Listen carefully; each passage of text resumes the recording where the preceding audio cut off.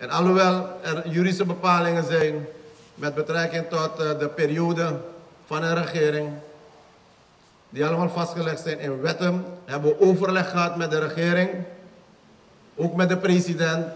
En uit alles blijkt, uit alles blijkt dat ook de regering bereid is het bestuur eerder over te dragen aan de nieuwe coalitie. We zijn constant in, in, in overleg gezien de uh, financiële situatie van het land. Uh, we hebben ook gesproken over een smoothly overgang uh, zonder problemen. we hebben ook gesproken om ook eerder dan 12 augustus overdracht plaats te vinden. Over de overname van de regering. Uh, uit kringen van het kabinet van de president hoor ik het, uh, de datum van 15 juli noemen. Is dat de datum waarop gemikt wordt? Is het haalbaar? Ik wil me niet pinpointen over het is die dag, maar ik wil wel zeggen, het wordt midden juli. Wat die understanding tot nog toe is met de regering. Midden juli. Of datum met min is, plus een dag is, daar wil ik me niet pinpointen, omdat het ook afhankelijk is van het juridisch traject dat wij in het parlement moeten afleggen vanaf maandag. De termijn van de huidige president eindigt op 12 augustus. Kan deze zomaar worden ingekort? Dat is bij het overleg ook uh, besproken.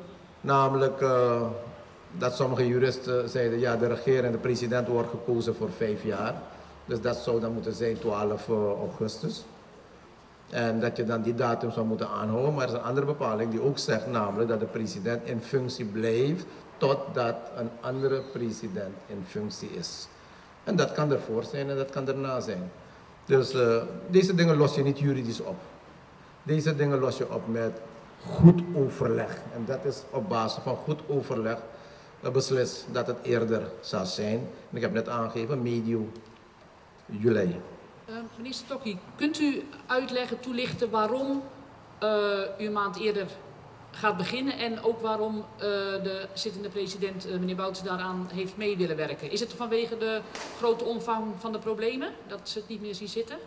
Waarom eerder? Ik denk dat dit het resultaat is van die good, good understanding. Dat het land is, ja mensen, ik ga, ik ga het blijven herhalen.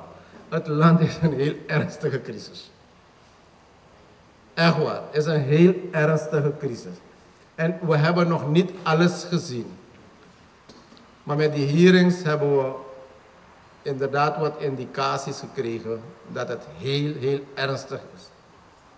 We hebben al twee brieven van oliemaatschappij al gehad.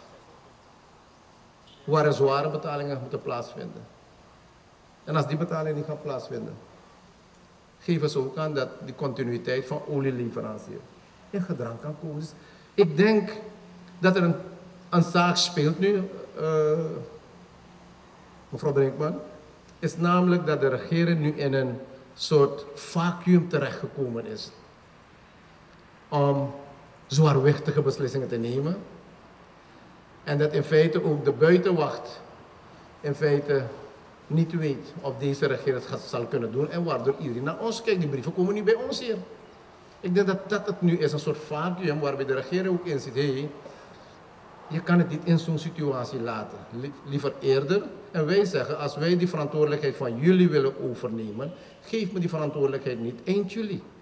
Geef me begin juli. Maar goed, dan heb je weer die juridische tijdlijn, die onze, door onze juristen uitgewerkt worden. Dan kom je inderdaad daar midden uh, juli ongeveer.